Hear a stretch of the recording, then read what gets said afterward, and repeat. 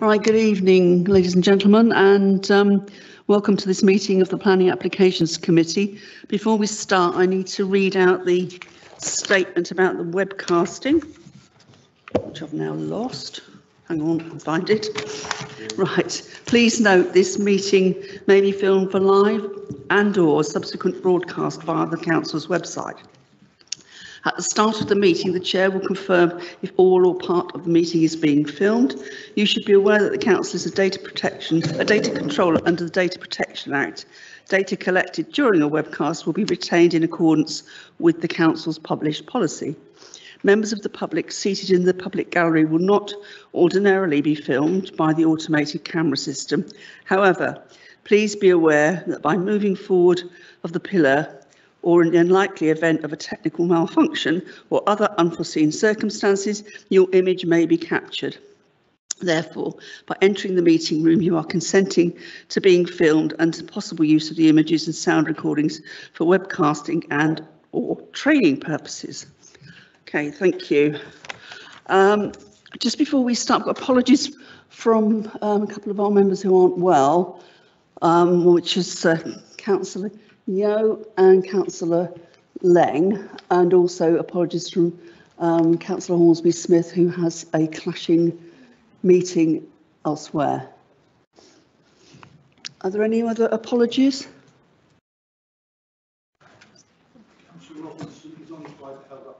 Okay, thank you. We'll see him when he gets here then. Thank you very much. In Which case we'll then go on to the minutes. Um, and I'm just going to say that uh, I'm not going to sign the minutes this evening because there is a fundamental mistake in one of the items that needs sorting out. Um, it's uh, actually minutes that we granted something that we didn't, so uh, we need to get that proper, and we need to get the reasons why we didn't grant it um, properly minuted as well. So can I suggest that we take them back and we'll do them both tonight's and last times at the next meeting.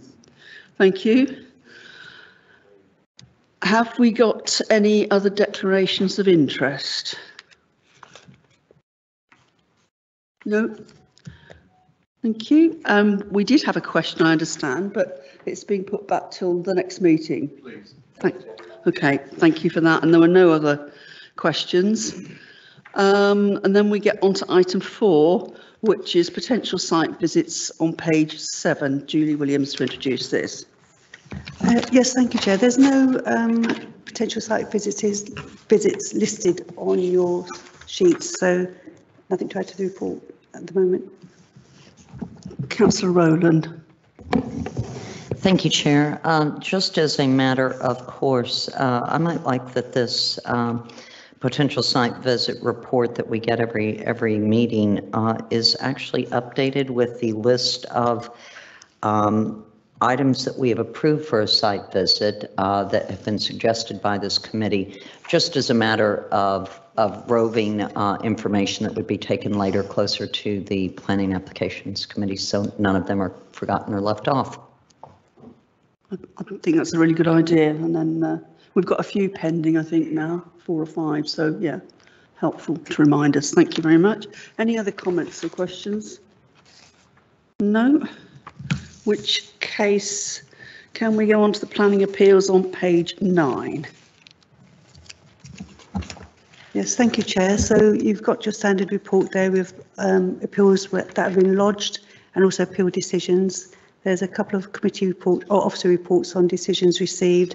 And also in your update pack, there's a further report in respect of um, Stone Point for your consideration. Thank you. Thank you. Councillor Page? Chair, can I pick up on the last one, namely at Stone Point? Um, the report or the summaries on page 11 and 12.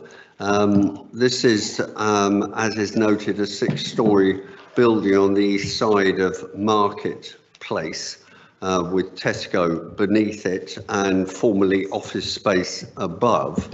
And uh, the uh, uh, application that has been granted is for 144 rabbit hutches, uh, euphemistically described as studio apartments. Um, and these have been secured courtesy of the late non-lamented Eric Pickles, who pushed through a change which enables owners of properties, uh, office blocks, to be able to convert um, them to residential without going through the full and normal planning process. And this results in the sort of substandard uh, development that we uh, see here. And that alone is to be deprecated um, because the council, as is rightly pointed out, doesn't have control over the minimum standards um, and a whole range of issues that would normally be uh, featured in a, in a planning application and planning determination uh, just go out the window. Um, also, this process known as prior approval, Chair, means that we are unable to secure any contributions towards essential infrastructure. And as is noted at the bottom of page 12 in the penultimate paragraph, we're not able to secure any contribution towards much needed affordable housing in the borough. And uh, had this been a proper planning application, um, whether we would have agreed 144 uh, studio apartments, we certainly wouldn't have. We would have insisted on a mixed development of accommodation, but nonetheless, there would have been a substantial contribution to meet our policy requirement of 30% contribution to affordable housing, if not on site, then certainly off site. But again, thanks to Mr. Pickles um, and thanks to the coalition government and thanks to successive Tory governments, we have been deprived now over the period since 2013 of nearly 10 million pounds of um, contributions towards essential infrastructure and hundreds of affordable housing units have been uh, have been deprived, um, or we have been deprived of hundreds as well. Uh, to say nothing of all the loss in fee income. And the next report, which we will no doubt just note, Chair, but uh, on page 22, we're told now uh, that the uh, uh, the running total of loss fee income, lost fee income, nearly £2 million.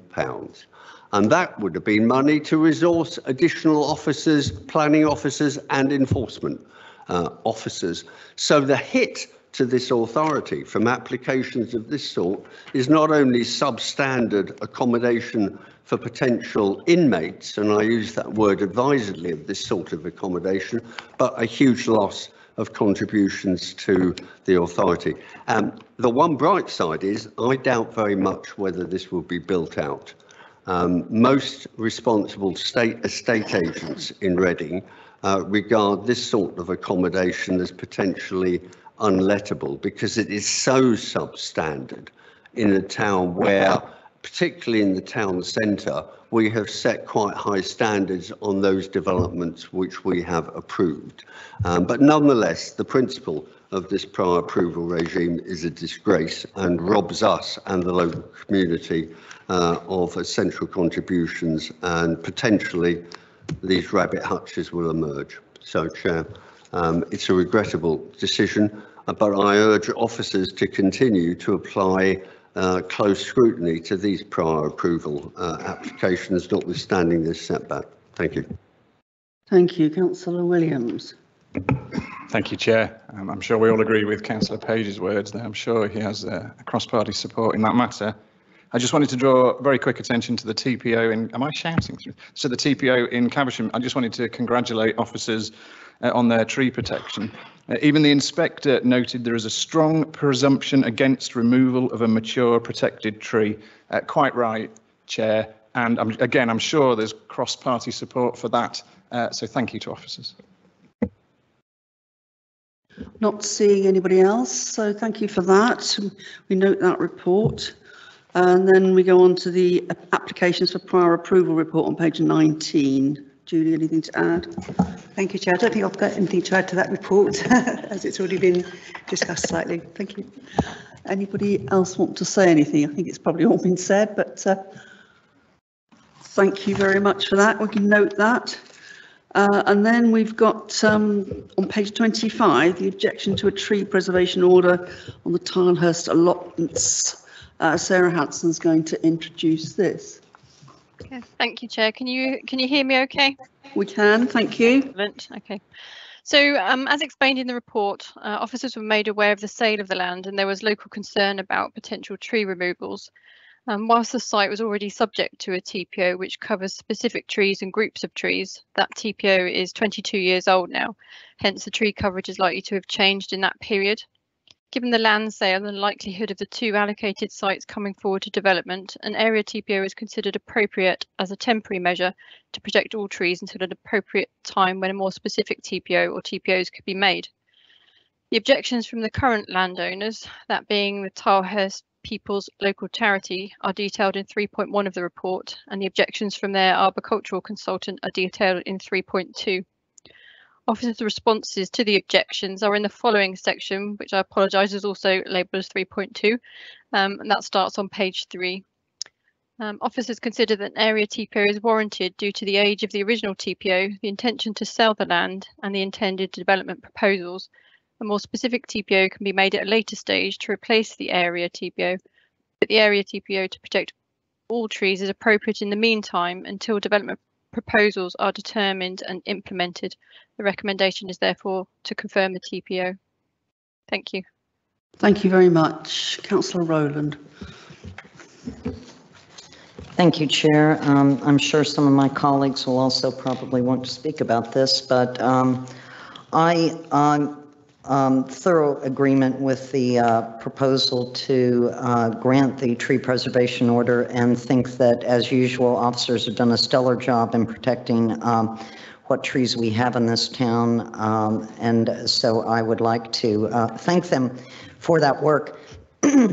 I found it uh, very interesting, especially uh, regarding uh, the, the um, the accusation that this had actually been used as a campaigning weapon and uh, the the rebuttal, which is very, very sound, that the officers have put forward that state that that this is not, whether a TPO is there or not, is not um, is not something that is going to affect um, a future um, excuse me, a future plan coming forward, uh, and that's in section three number three on page 29. Uh, So that's, that's appreciated. Also, uh, I, I noted too, the amenity uh, conversation and the fact that the word amenity is not defined by law, but uh, amenity in this case was determined to be A, the view, and B, very eloquently put, I have to say, at the bottom of point number five on page 30, that it should also be remembered that amenity is not only the consideration when ter- determining whether a TPO is expedient, the nature conservation value of the land on which the trees sit can also be considered. Um, he- She goes further to talk about biodiversity, which is very important. But I would also suggest that this is a wonderful place. We all realize that we're in the middle of a climate emergency, that the real amenity comes from tree retention uh, in this case. And I think it is right and proper that uh, a TPO be placed on these trees and that this review came forward after 22 years. So I'm in total agreement with officers on this one. Thank you. Thank you. Councillor Ennis and then Councillor Williams. Yeah, thank you, Chair. Um, just to add on to that, I've had discussions with Councillor Keeping and Councillor Dennis of Kentwood wards who can't be here tonight, but wanted to relay their concerns that if the objections were to be uh, carried through uh, of the loss of an area which um, should be preserved, the trees should be preserved, uh, how important it is to the area and to the residents around it, uh, and the reasons that Councillor Rowland has given. I certainly have been up there, like most of us have during campaigning times, and saw firsthand the, um, the quite density, if you look at it, of the wooded area and the trees. And um, it's, it is a nice area, and the residents um, certainly respect that, certainly on Armour Hill, Armour Road area. Um, and it you know, the, the question was, is it going to be preserved? Are they going to be preserved? Um, can understand why the objections are there because, you know, um, if they want development, but they, they, they'd have to appreciate the area of, of beauty to a large extent of them trees and their protection. So I certainly would relay the concerns of the two um, councillor Keeping, councillor Dennis, the two Labour councillors of Kentwood Ward, uh, and would support a continuation and confirmation, confirmation of the tree preservation order. Thank you. I'm sure the residents would welcome that as well. Thank you. Thank you, councillor Moore. Thank you, Chair. Um, just a few points. I completely agree with the OSF recommendations on this. Um, I think it's quite wrong that the uh, charity have, have suggested that RBC is may have acceded to the entreaties of campaigners, and uh, as campaign weapon, that's not what this committee or, or RBC is about. Um, and they also suggest that because there's already a TPO in place, it's not necessary for a new one. But I suspect and I suggest that in 22 years, the ecology of that area will have changed significantly, and uh, that's an unreasonable thing to say as well. Thank you. Thank you, councillor Carnell. Thank you, Chairman. It appears we do have cross-party unity on this issue. I'd uh, certainly be supporting it. I've, I've spoken with Councillor Raj Singh, one of the Kentwood councillors, who's spoken with a lot of residents in the area, and they're overwhelmingly in support of the TPO. Uh, I can see no reason to refuse it. Thank you, Chairman. Thank you. Not seeing anybody else, I'll just briefly add that if you look at the uh, the whole um, area from Prospect Park across to West Reading, there's a, a continuation of the woodland that starts in Lousehill Copse and then carries on right across to this particular um, location. And uh, it, it's also about the, that, that preservation of that woodland that's been so important for um, that area of Reading for so for so long. So uh, I very much welcome this, and I'd like to thank Sarah Hanson for considerable amount of work she's she's done on this, and uh, let's hope that um, a sensible outcome can be found so that we don't have this standoff between a local charity and the local community. Can we agree the recommendation? All those in favour? Thank you, that's unanimous. Which takes us on to item eight, the uh, Gasworks Social Club on page 35. Bruce Edgar to introduce this. Thank you, Bruce. Okay, thank you. Um, this, um,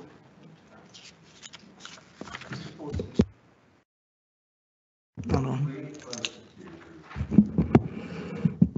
This report's in two parts. The first, um, it contains most of the photographs, etc., which looks at the appendix two of the local plan, which identifies what criteria need to be met for listing.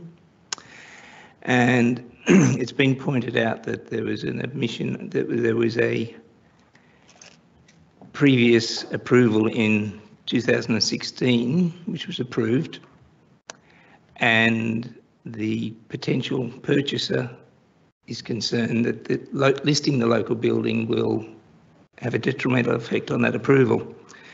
We've discussed it internally, and the second part of the update for you, which you have in your papers, um, talks about the change of use, the conversion extension for residential, and that's all given in that update information. And can we go to this one, slide one? This shows the river, river elevation of permission 160378, showing the elevation that's permitted on the left and the existing elevation on the right. Now, that's been in place, it's been approved, and there's no dispute on that, and listing the building will not affect that previous approval. Is that correct, Wendy? Yep. So slide two. Uh, this shows the south elevation with the same permission, showing the existing elevations on the left and elevation on the right. Now, it's important to note that if it is established that permission is still extant, adding the building to the local list will not prevent its implementation, and it is not therefore considered a reason for not adding the building to the local list. Decisions on the local listing should be made on the agreed criteria as set out in the local plan. Thank you. Councillor Page.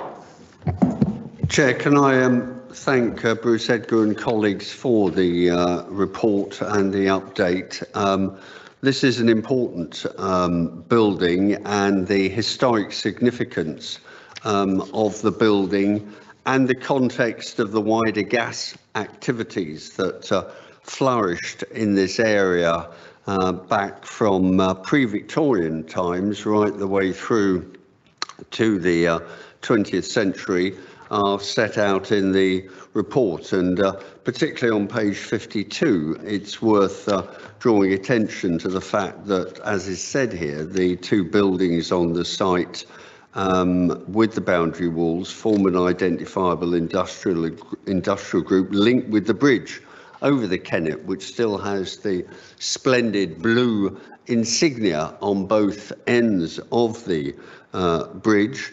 And um, the last gas holder, um, I should say January 2022, not 21, um, has now been dismantled and uh, uh, redevelopment of that site is underway, which we gave planning permission for more recently.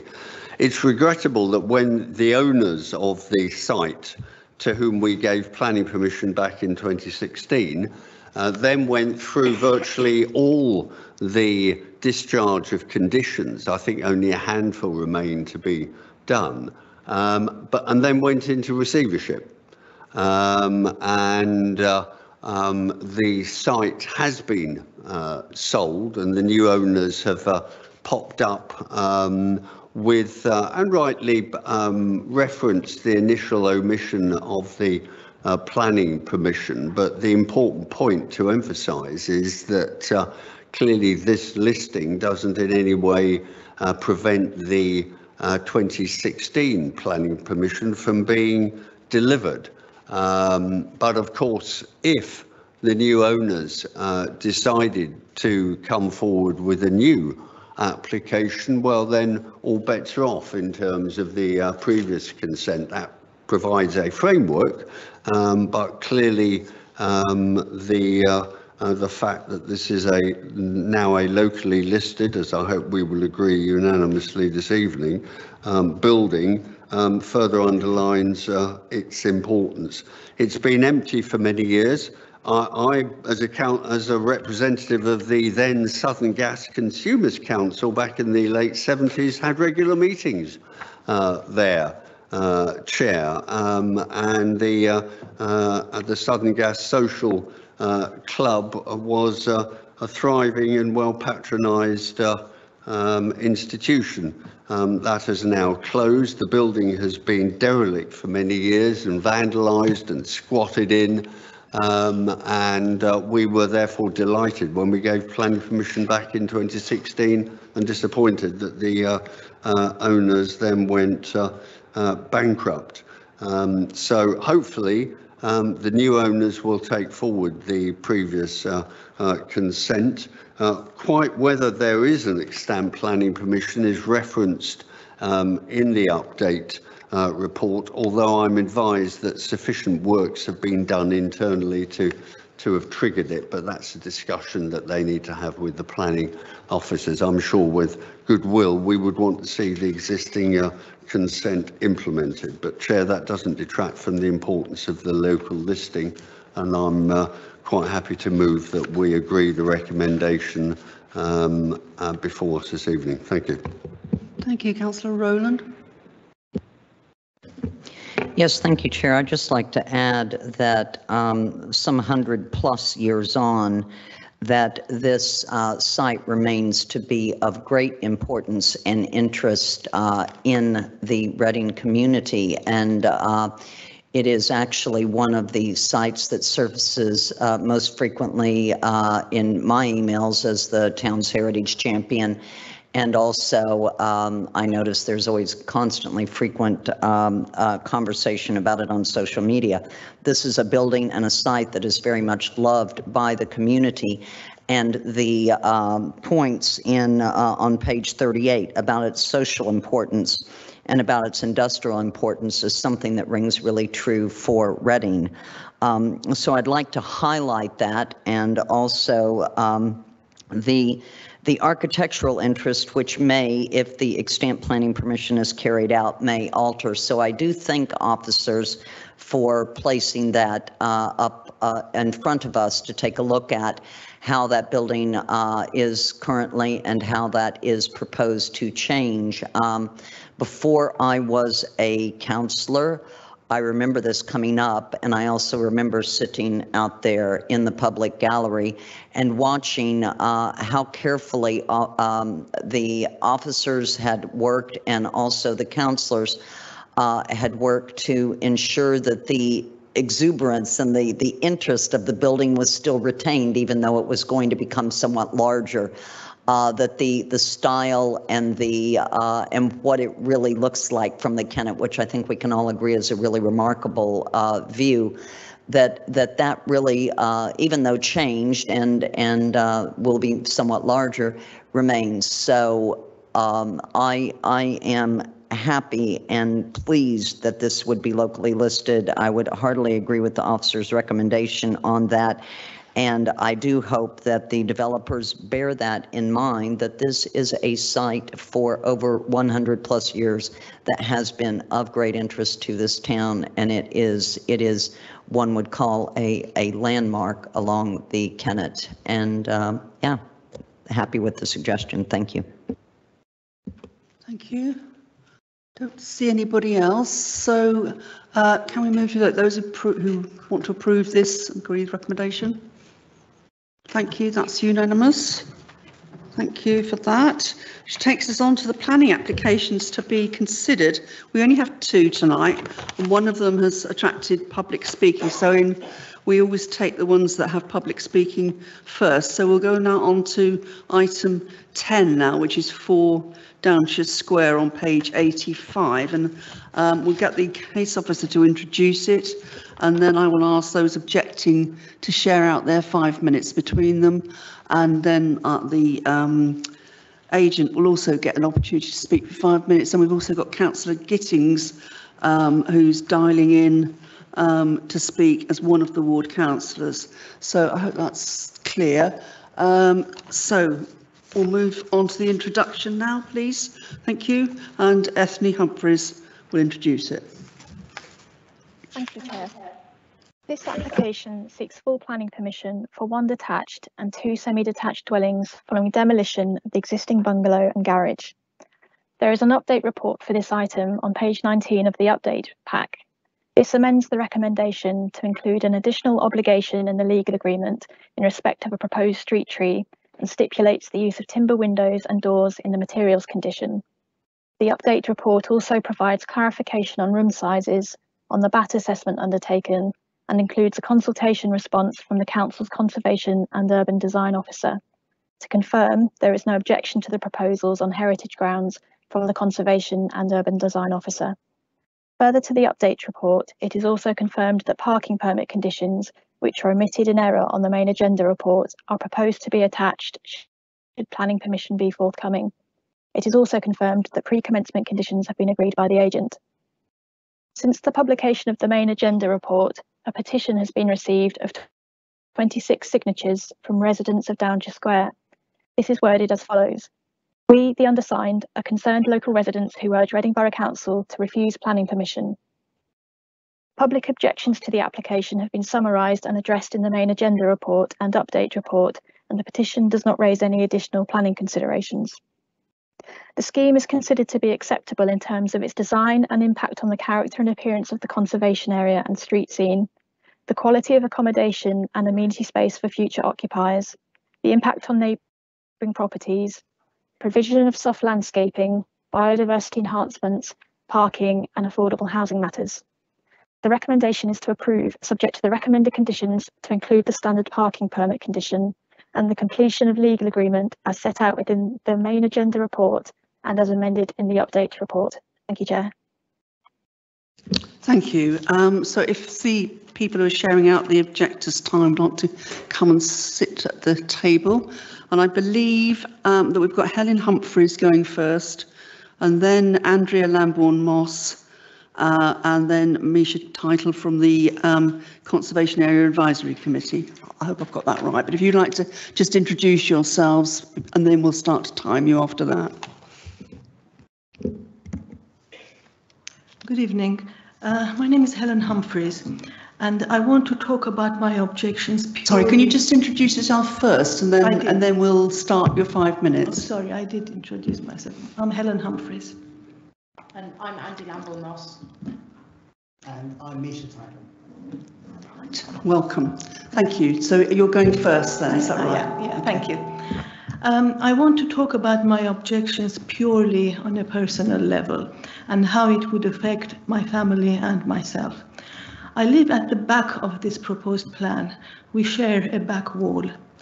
The existing bungalow is a solid family home with an established garden and can be maintained and used by a growing family.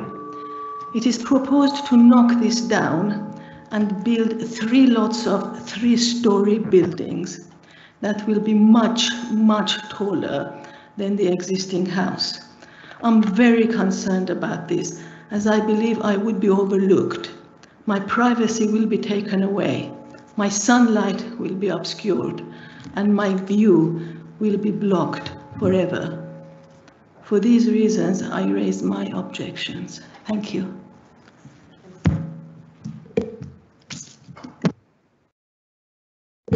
On Sunday afternoon, my husband and I called at homes around the square. Over half the people we spoke to were completely unaware of this proposal. No one was in favour of the proposal. Every single person we spoke to signed the petition. The number of signatories is now up to 27.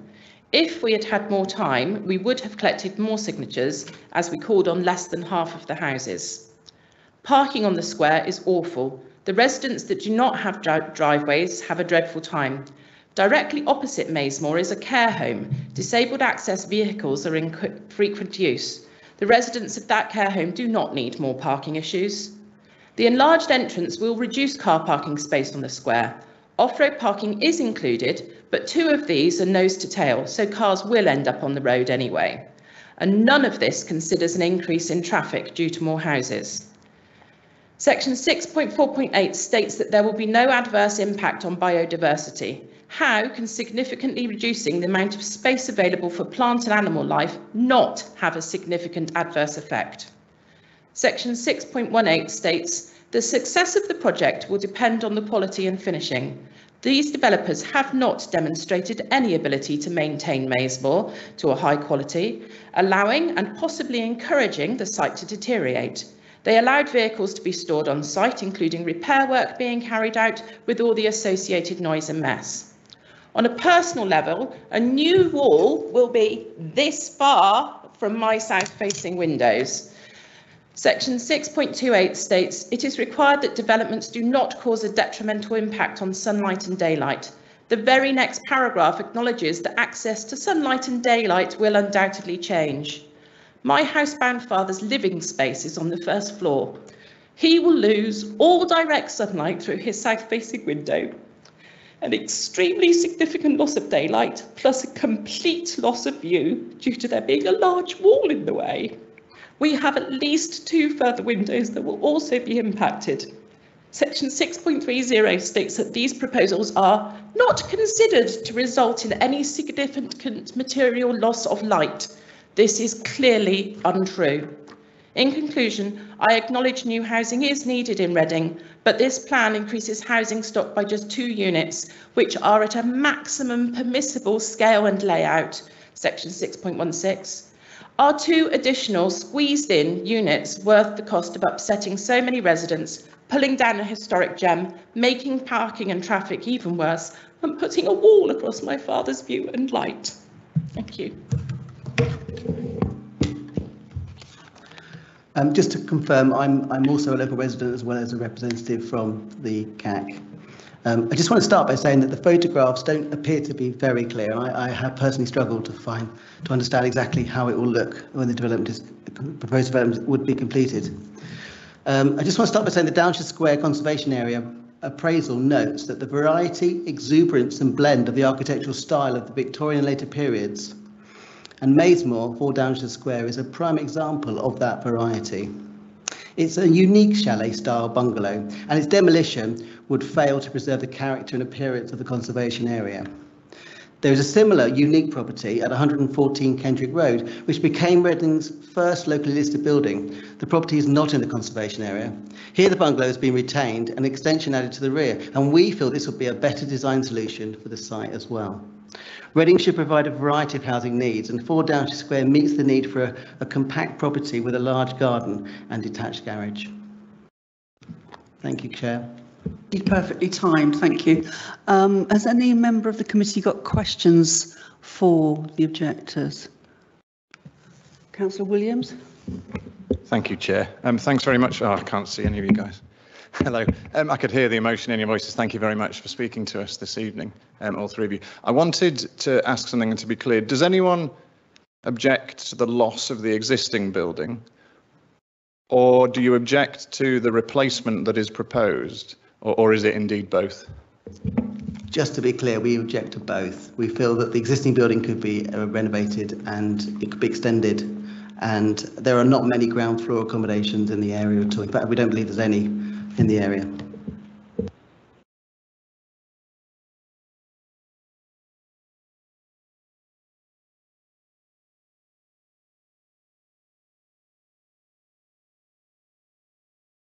Sorry.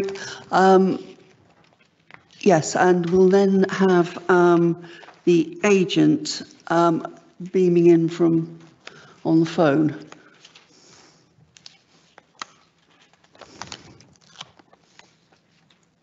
Oh, hello. Good evening. Good evening. Would you like to introduce yourself and then we'll start to time your five minutes? Sure, sure. Um, my name is Edward from Colony Architects and I'm representing the applicant this evening. Um, so there we are. Um, so thank you for allowing me to speak and thank you, Ethne, for your introduction. Um, we've been working on the scheme for many years now, submitted two previous applications and an appeal. As a background to the proposal, the dismissed appeal should not be forgotten. It establishes many useful principles that have assisted in shaping the proposals before us tonight. Ethne has covered the application scheme context very well, so, so I'm not going to repeat this. I'm just going to focus on the areas of concern raised during the consultation process and explain how the scheme has, been dealt, has dealt with these matters. I'd like to start with the bungalow. It's currently a low-scale bungalow positioned centrally in what's an abnormally large plot, not typical within this conservation area. We acknowledge that CAC objects to the loss of this property. However, it's quite clear in the appeal that the inspector does not raise um, the preservation of the bungalow as a dismissal reason. Rather, there is acknowledgement that the site can be developed. The Conservation Officer, furthermore, confirms the building is of moderate value and does not object to the demolition and it is also not listed as a building of townscape merit. With respect to the impact in the sort of wider conservation area, the Conservation Area Officer has reviewed the proposals and considers the scheme to have a neutral impact on the conservation area. The nearby buildings are not listed or mentioned within the appraisal, therefore the proposal, the proposed impact is, is limited. During the design process, the design team reviewed the character of the conservation area, its diverse mix of architectural styles, and all of this informed the aesthetics and form of the scheme. Um, with the, the sort of philosophy has been to use similar materials and traditional detailing to help bind the scheme into the context, um, and also have a sort of varying materials between the two properties to sort of uh, replicate that diverse architecture found in Downshire Square. Looking sort of more at the sort of the bulk and scale of the proposals, um, it should be noted again that the inspector found that the previous scheme wasn't unreasonable, but also referred to All Saints Court next door and suggested by splitting that into two buildings, it would be more successful. We've effectively taken on that approach in this proposal, albeit we've given larger gaps between the buildings to in fact improve upon that sort of position.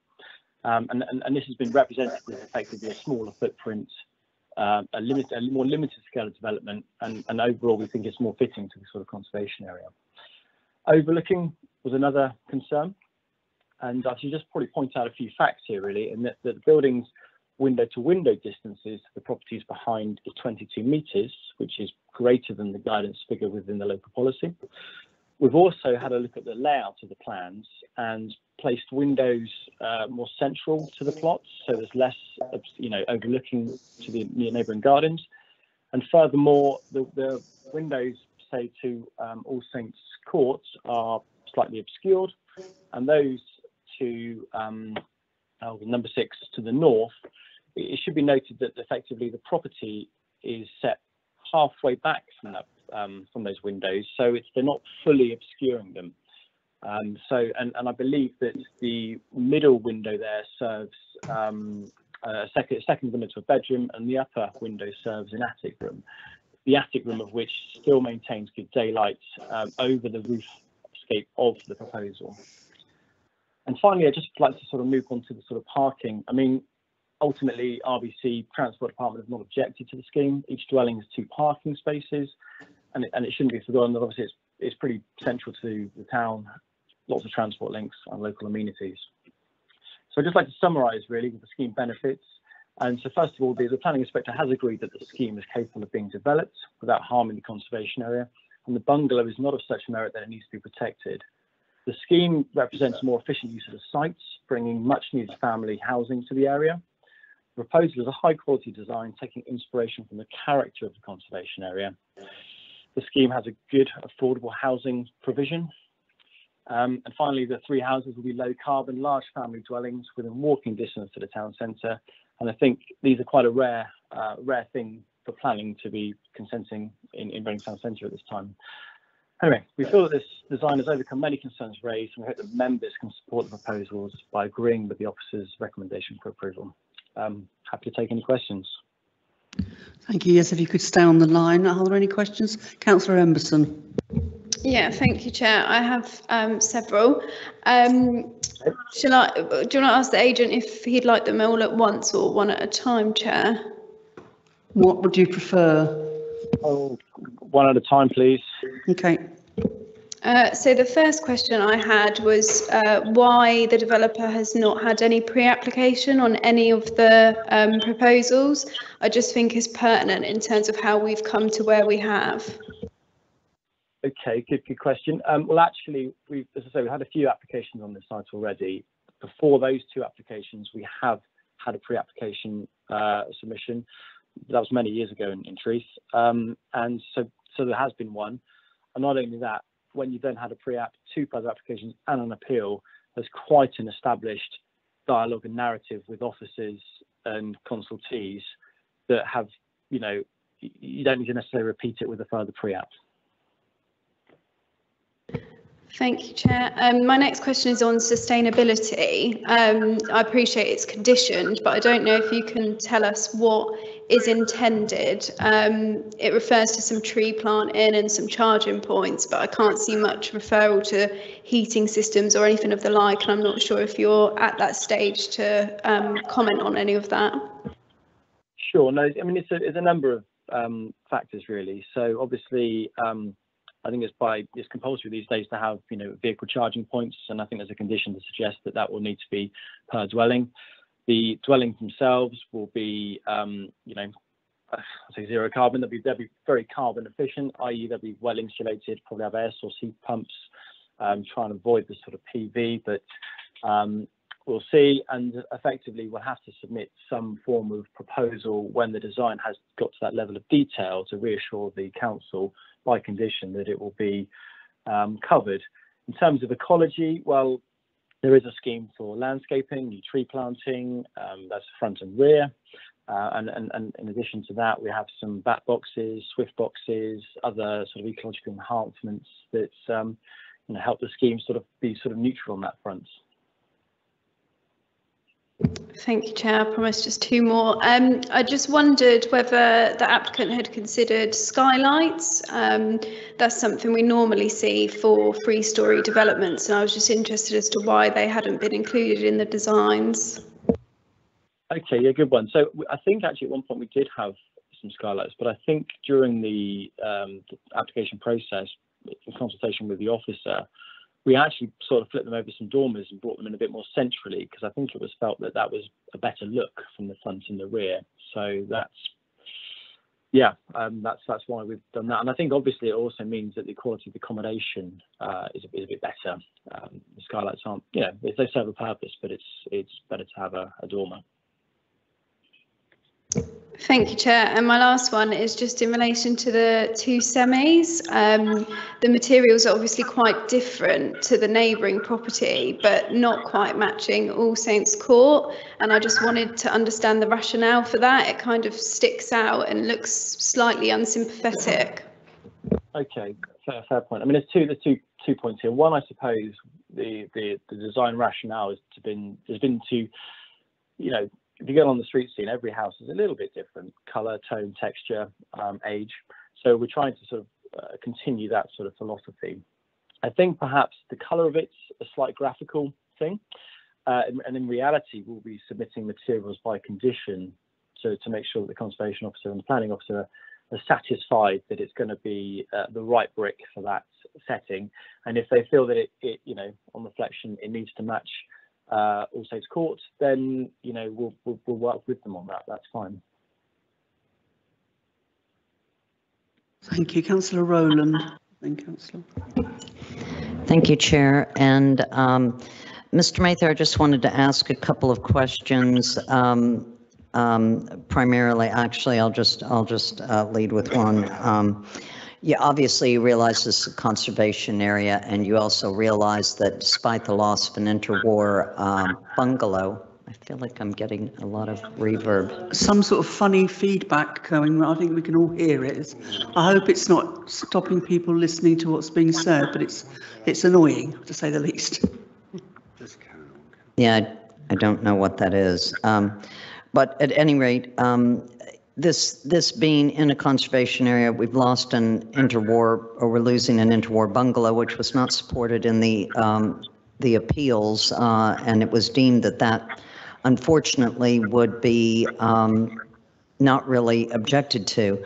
But um, Mr. Mather, I usually hold your architecture firm in, in some regard, um, but I was actually um, um, kind of, my, my first inclination was to say, and I don't say this to be um, rude in any way, because it is a technique. Uh, it, it seems kind of a pastiche almost in that the uh, building to the one side, it takes on the elements and, and materials of the, of the house directly to that side. And then on the other side, the double gable building seems to just kind of in reverse uh, um, work with the, um, I guess, the All Saints Court to the right.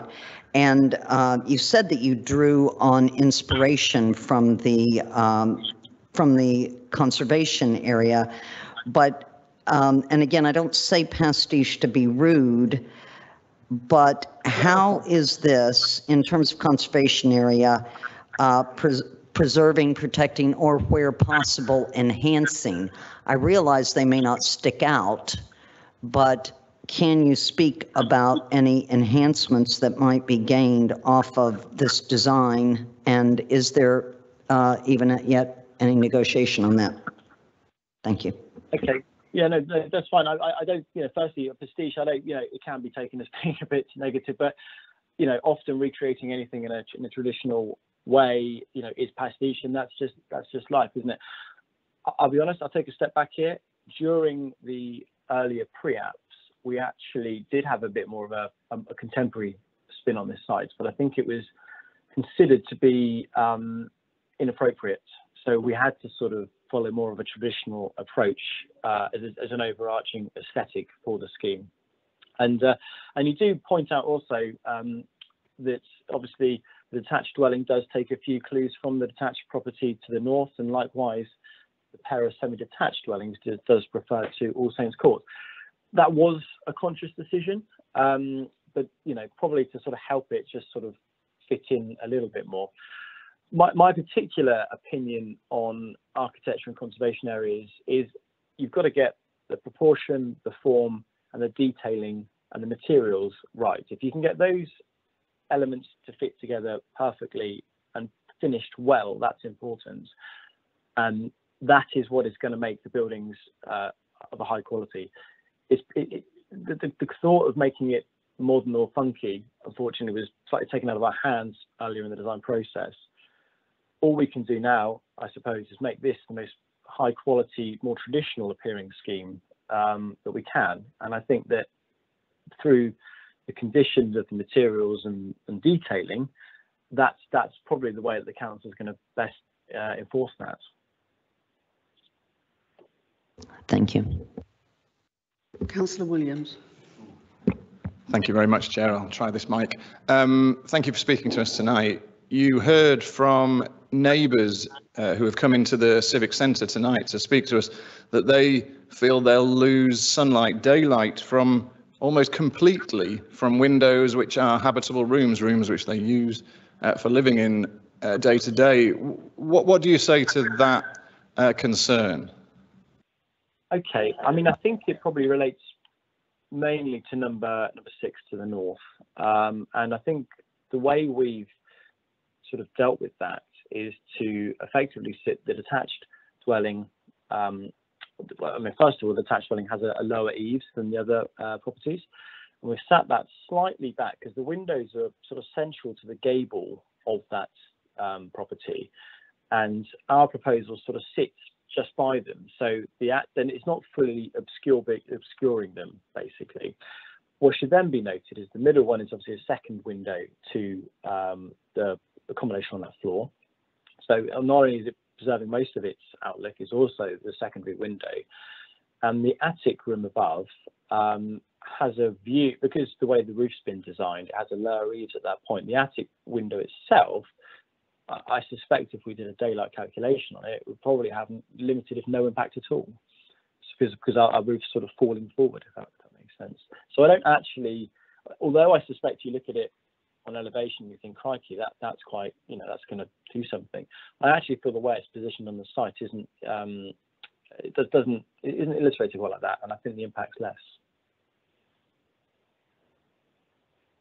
Could I come back quickly, Chair? I'm sorry. I, I, would just like to clarify. Are you saying that the, the neighbours are wrong, their concerns are, are not valid? It's just that the, the drawings don't give a full picture. you think that the loss of sunlight will not be drastic in any way, but you haven't done an actual assessment of that?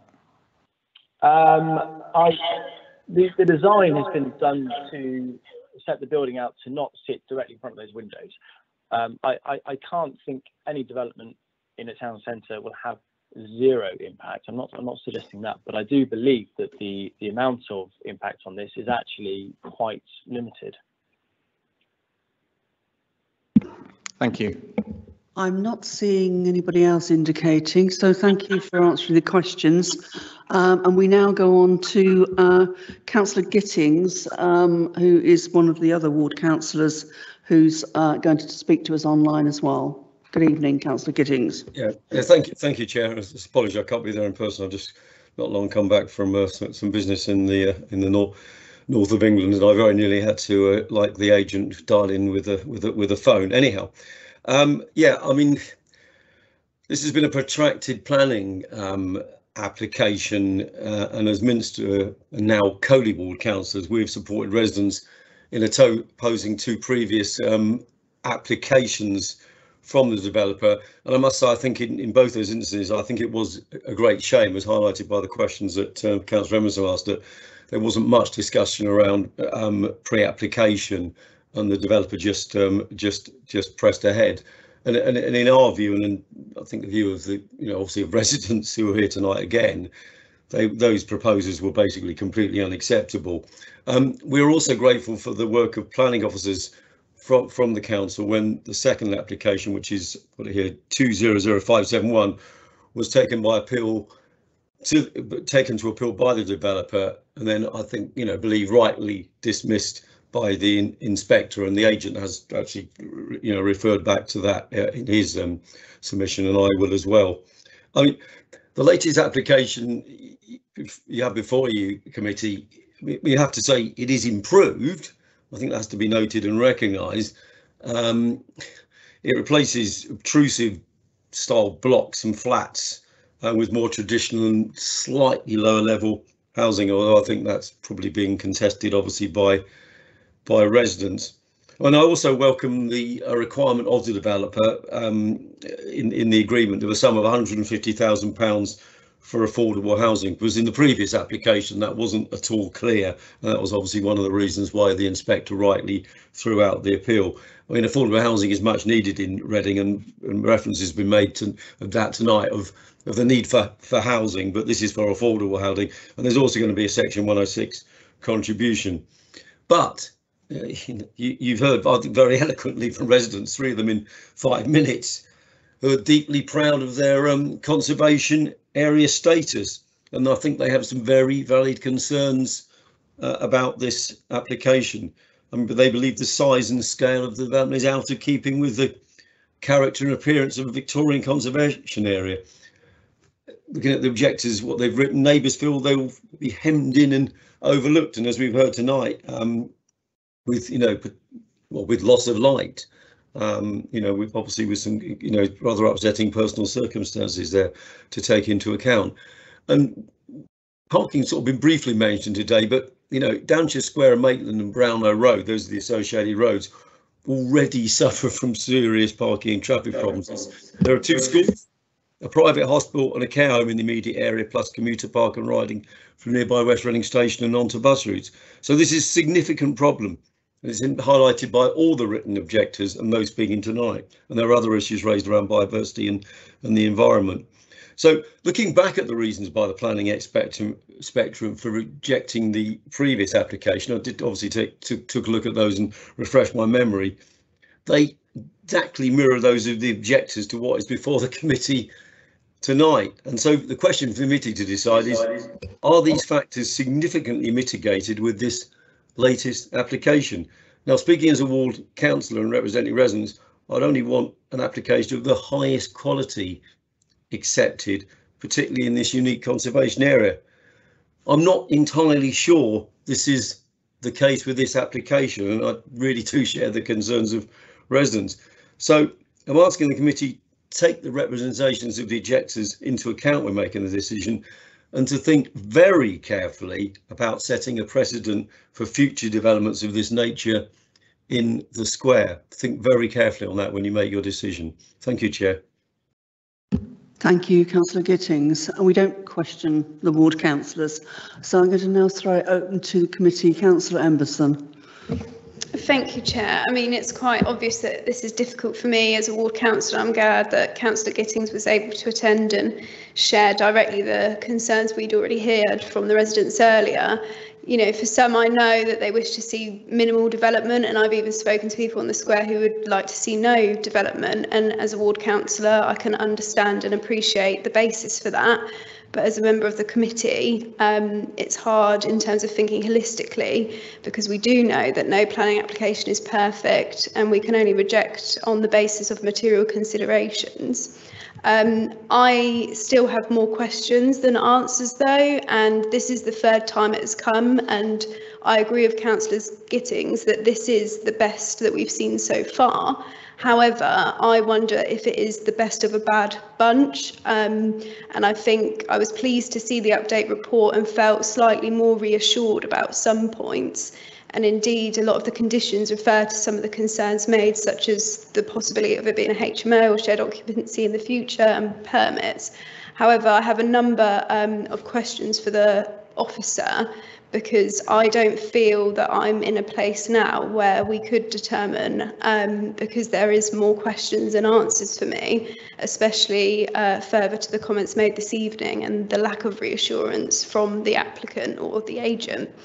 Um, so if, if that's okay for you, Chair, I'd like to ask um, some questions. And again, I'm happy to either do them one at a time or individually. I don't know if the officer has a preference green lights at me, but um, it's very strange. Um, up to you, I think. If it's one at a time, this might be better. Okay, um, I will try and go one at a time. So um, my first question was kind of on the materials. I do appreciate the condition um, and that that is not a final um, matter, but I'd just be grateful for the officer's comment in terms of the aesthetics and being sympathetic about the conservation area, as Councillor Rowland touched on as well.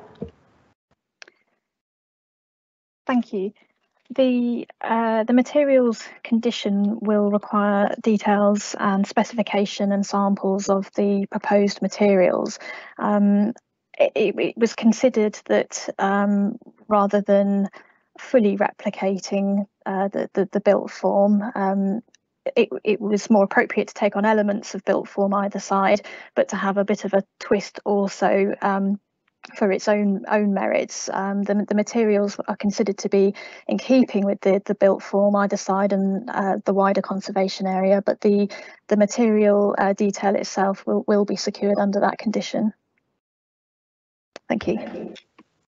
Thank you, Chair. Um, my next query um, was in relation to parking. I mean, we know the planning inspector acknowledged how big of an issue this is in the area, and this application is different in that it does meet the policy requirements in having two parking spaces per property.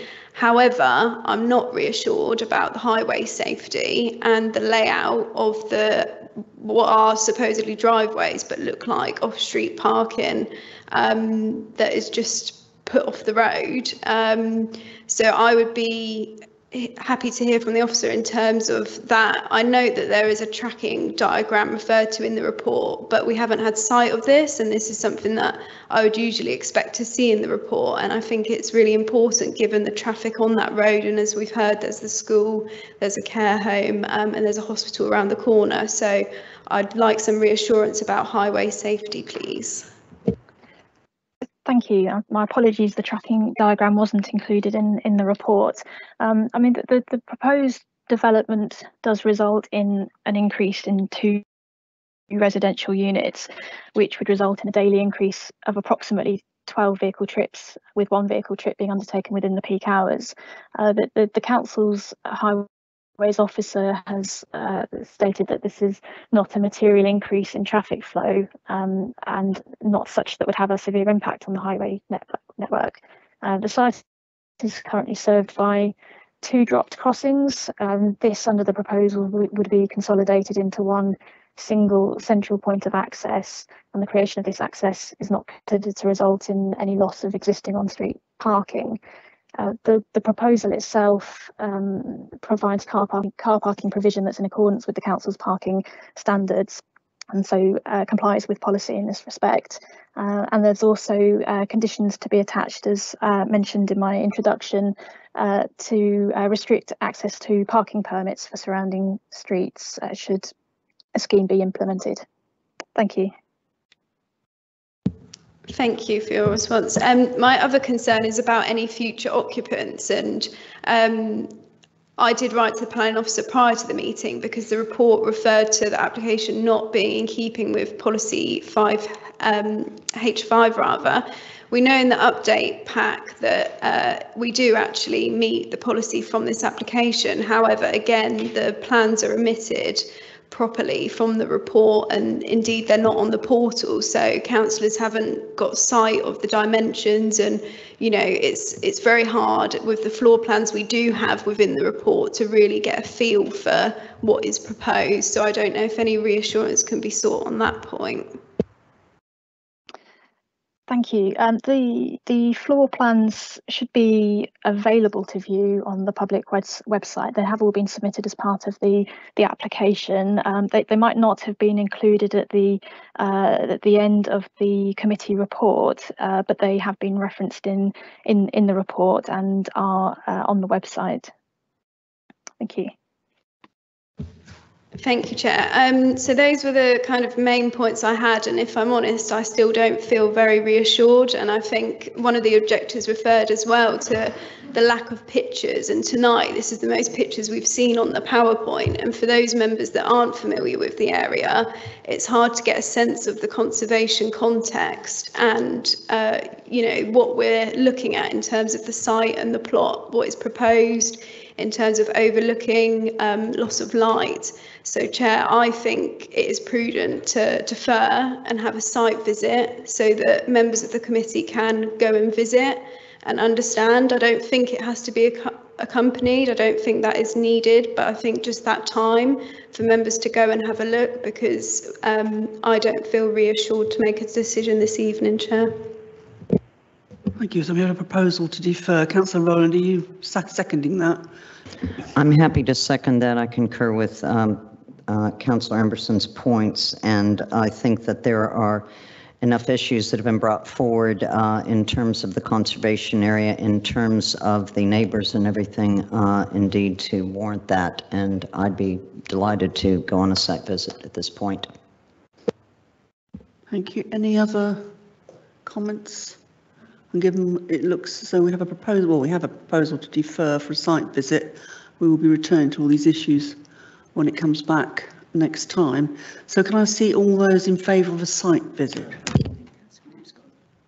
Can I ask a quick question? Yes, I'm really course. sorry. Uh, It's probably to the ward councillors.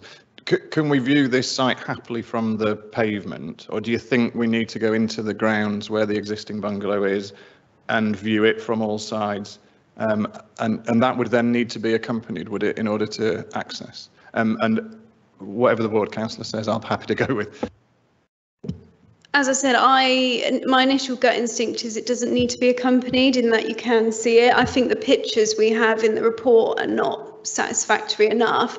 I think accompanied may be helpful to understand overlooking and loss of light. So sorry to kick the ball again, but I wonder whether officers could comment. But I do, I, I think the imperative is seeing it from the road and how big the plot is and where it is and how close it is. But you wouldn't be able to look behind as such. You'd have to go around. So perhaps um, it might be worth a accompanied visit.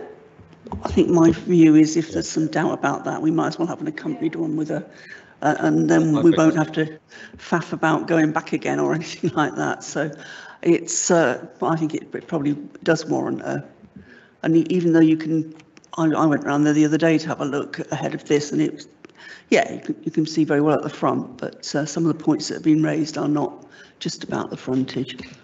So Julie, do you want to?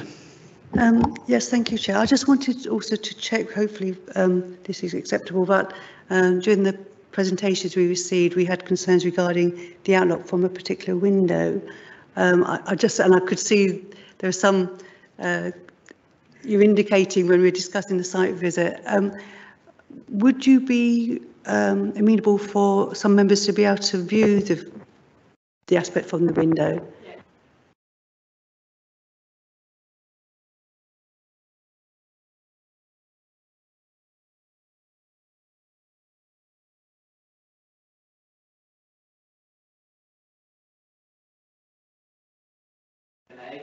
And you would see the impact of having a wall in front of it, and you would see my dad's views. Yeah, okay, okay, okay, yeah, yeah so we'd, we'd, we'll leave that to members to decide what they, they see in the I think on that basis, we should have an accompanied site visit. Um, and I assume it will be the next diaries, although we do, I think we do need to return to the times of site visits because it's, it's very difficult for some members to be there at in the morning if they've got a, a, a, job. So perhaps we'll consult on the best time and obviously consult with residents as well as to when it would be convenient for you and particularly your father. Um, so uh, can we leave that to officers to to work up a, a plan? Uh, Councillor Emberson. Sorry, Chair, can I just also ask that the points I raised about the tracking diagram and the plans is looked at because I'm pretty certain the plans aren't properly on the portal. So if we could get those remedied by the time it tracks back as well. Yeah. Okay, okay is it, I think we voted in favour. We'll do it again or? Do you want to vote again? Those in favour of deferral? Thank you. That's unanimous. Right, thank you. We've had a long time on this, but clearly it's uh, an important application. So uh, can we now go back to um, the item on page 55, which is the all the um, applications for, for Broad Street. And David Brett's going to introduce this. Thank you, Chair. Uh, full planning permission and advertisement consent is sought the upgrade BT payphone advertisement screens with BT street hubs within the town centre uh, on Broad Street, Friar Street, West Street and St Mary's Place. These applications have been called in to be determined by the Planning Applications Committee by Councillor Page. Uh, The street hubs feature two 75-inch advertisement screens, one on each side, as opposed to one screen onto the existing units. Uh, the the street hubs provide uh, Wi-Fi, 4G, and 5G connectivity uh, within 150 meters of each unit. Uh, free phone calls and are equipped with environmental sensors which can measure air quality, noise, and traffic.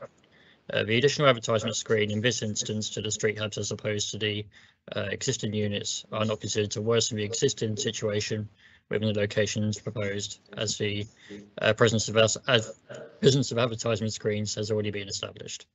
Uh, all of the proposed replacement street hubs are within like-for-like locations of existing BT payphone and advertisement screens apart uh, from the payphone to be re- replaced outside Bristol and West Arcade uh, on the edge of the Marketplace and London Street conservation area. Uh, whilst the replacement street hub is located uh, close to the to uh, Friar Street entrance of uh, Marks and Spencers. Uh, in discussion with the Conservation and Urban Design Officer, the removal of the payphone close to St Lawrence's Church is welcomed. Uh, it is acknowledged that the proposed replacement street hub is located closer to the Queen Victoria statue, however, which is grade two listed. The street hub would be viewed side on in relation to the to the key views of the statue from Blagrave Street. Uh, sorry, we just while I scroll. Uh, the street hub, therefore, is to is considered to have a less than significant impact of this on the setting. Uh, turning to crime and safety, as mentioned in the report, uh, the Thames Valley uh, Police Crime Prevention Design Advisor and the Reading CCTV initially raised concerns regarding the glare from the advertisement screens on CCTV camera imagery. Uh, this is particularly an issue during hours of darkness.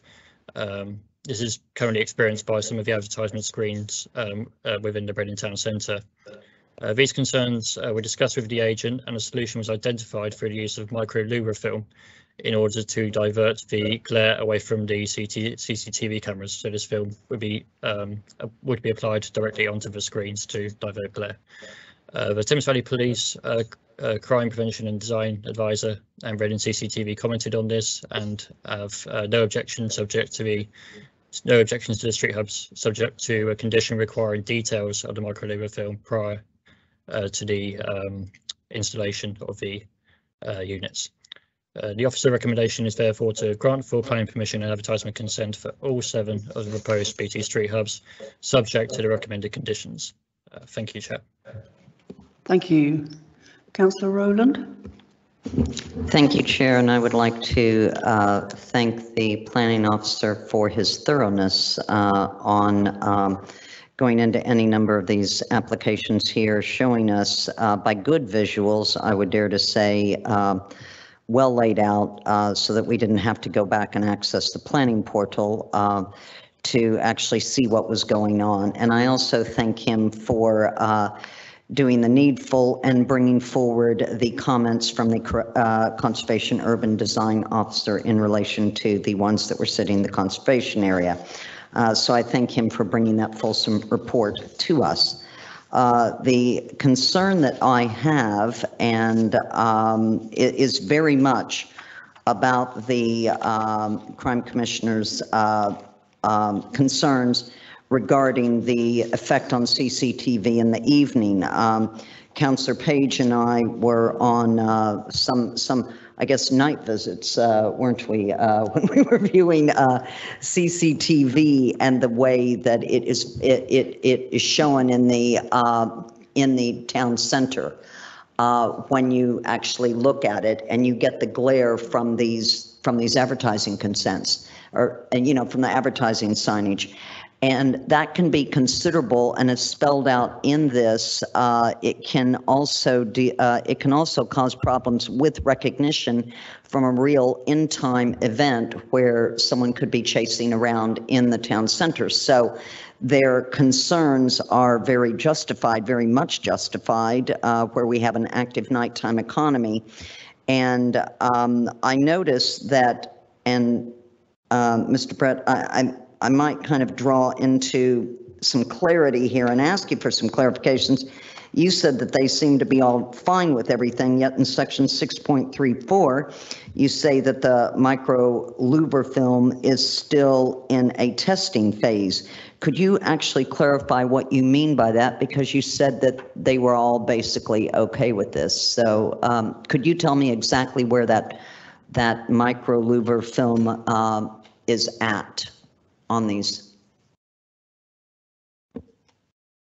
Uh, yes, yes, I can. Um, so this uh, this, product was um, originally suggested by uh, BT by their product team uh, when this um, when these concerns were raised by um, uh, the CPDA and the CCTV team, and subsequently um, they explored um, the uh, use of microlouver film as a as a way to divert the glare away from the CCTV cameras.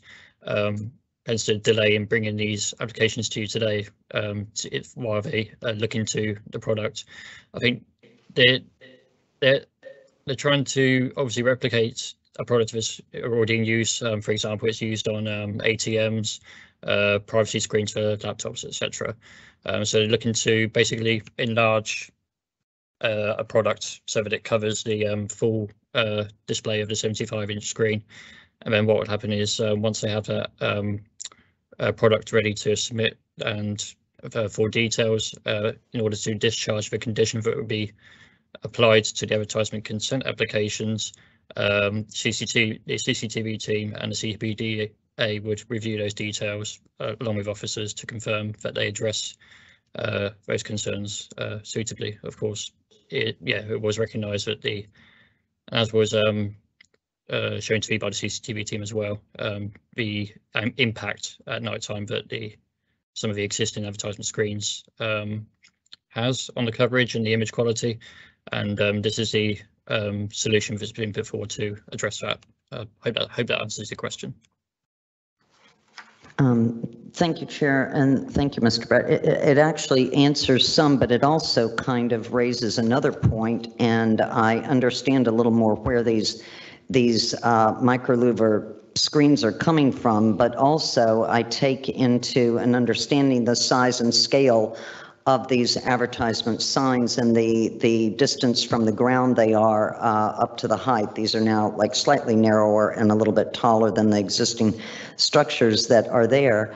But um, I I would want to know whether they've been tested uh, fully at night uh, and CCTV cameras have been um, have been able to observe that um, or not. And I don't know what what can be done about that except perhaps to insist on a materials, I mean, the material condition which is there, but also to have that um, that looked at by uh, ward councillors also, because I, I would like to know that that's rather rigorous and that the size and scale that we're trying to go for from that film actually standing against a person. I'm like really trying to think of it out there in the setting where that CCTV camera and the size of that advertising sign could could obscure important details about a real in-life situation or recognition of someone. So I'm not exactly sure. Perhaps that's more of a question as to how we could get um, um, that condition at least expanded so that I know I certainly would feel comfortable with it as a ward councillor. So thank you. Councillor Page, do you well, want to? Chair, to make business, can I refer to the update and suggest that we amend that to include specific reference to the CPDA and the CCTV team because recommendation five only refers uh, to sign off by the LPA. Uh, paragraph 6.35 uh, refers to um, specific consultation with the CPDA and the CCTV team.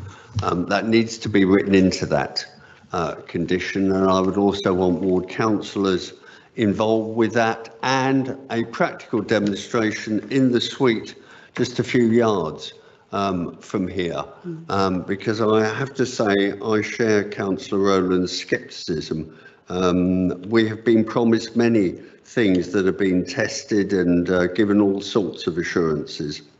Um, but I would actually want to see this in operation and with the uh, experts in the CCTV team, both our employees and the police signing off uh, that it works. Um, With respect, a written report simply saying it's okay is not going to be adequate. We want to see it working. We have a battery of cameras and a huge number of screens in there, and we're able to test it um, in operation. And that's what I would suggest we amend the um, condition to, uh, to say. I think that Councillor Moore was indicating as well. Thank you, Chair. Um, just a small concern about accessibility is we're going to be removing every single payphone from these hubs and replacing with digital screens. And presumably you either need to be adept in using a digital screen or have a mobile device. I don't know what the usage of those current payphones are. I mean, if they are, that may be, it may be a non-issue, but I kind of want to raise that as an issue of potential accessibility. Uh, okay, thanks, Councillor Page. Right.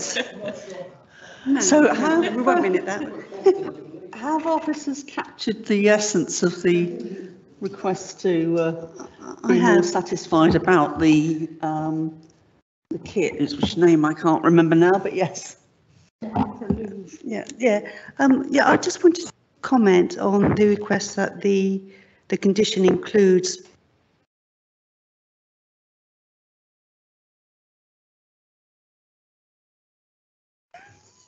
What's going on?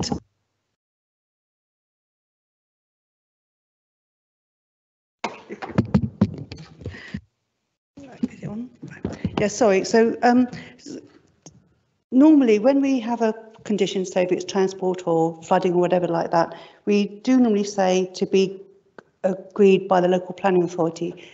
But that includes, us agreeing it includes us consulting with the relevant experts in that field. So, but we don't normally specify subject that's same as we don't normally specify in the condition that it will include consultation with members, although we, we note that as part of the procedure in our discharging of it. What I would suggest instead is that perhaps the condition includes that the details will include, so when they submit their report with the proposed louvers, it, it includes um, you know, evidence of demonstrations to, you know, we could do it that way rather than, otherwise it would set a sort of a strange precedent for us to say in how the condition is discharged, that we list all those that we'd be talking to. I think it should maybe instead specify in the, what we require from them to submit to us is, you know, demonstrations to show how it would work at night and that sort of thing.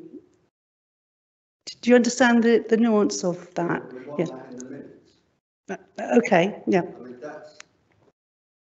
Yeah, that's fine. Okay, no, no, that's fine. But I just wanted to just clarify about how we will word the condition. Thank you. Councillor Rowland. Chair, it's just, you know, out of an abundance for concern. I mean, we are the, the uh, town center ward councilors and we've got a thriving nighttime economy down there. And we're not, we are not uh, going to tolerate anything that, that could disrupt it. And when I alluded to Councillor Page and I being out late at night, we have gone on some of these, uh, these operations with police and we have come back in and we have seen glares from advertising that, that have caused problems in recognition. So we are, you know, acting within our, our powers and everything. And I understand, I appreciate um, the fact that um, uh, Julie is, is stating that, that all of these things are going to be taken into consideration. I guess we're acting out of an abundance of caution. We'd really like that to take place. So, yeah. I think we can find a way to minute that, that reflects what's been said. Yeah. No disagreement with the principle. I'm just saying how we will articulate that. I'm still happy, I'm happy with all that you're asking for. thought and then we'll see on with the minutes. Councillor Williams. Thank you, Chair. I wonder if I could ask a quick question that isn't about the uh, glare. Uh, um, I've got a little bit lost when reading uh, the uh, the report and looking at the screen as to exactly where on these monoliths the bit that you interact with is. I think there'll be some kind of phone and digital screen on the side. Is that placed at a height that is um, suitable for wheelchair users. It looks from that one image that it is quite low down. But uh, yeah, my eyesight isn't quite. Uh, could an officer just comment uh, it, it looks to be waist height to that individual stood next to it, which would be quite accessible. Yeah, I'm going to try and point this out on the slide now. Uh, so it's about here, if you can see. So there's a tablet screen um, on the um, narrow side of the Street Hub, and that's where you, for example, plug in headphones to make a phone call, um, all that sort of stuff. That's that's how you engage with the uh, phone making facility side of things, if that makes sense. So it's yeah.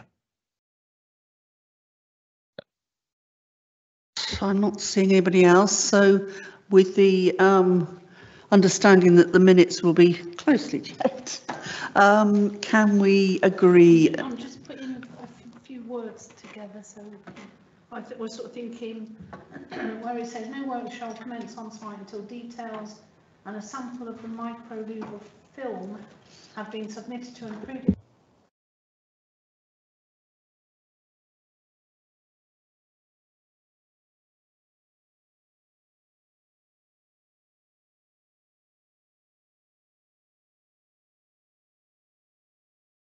capture what you're wanting? In conjunction with the CCTV experts and, and. And the ward councillors, yeah. Yeah. Yeah. Okay, so I mean, obviously that wording will need to be firmed up when we look at the minutes, but um, we will be looking at them uh, when they come back. So on that basis, can we approve these recommendations?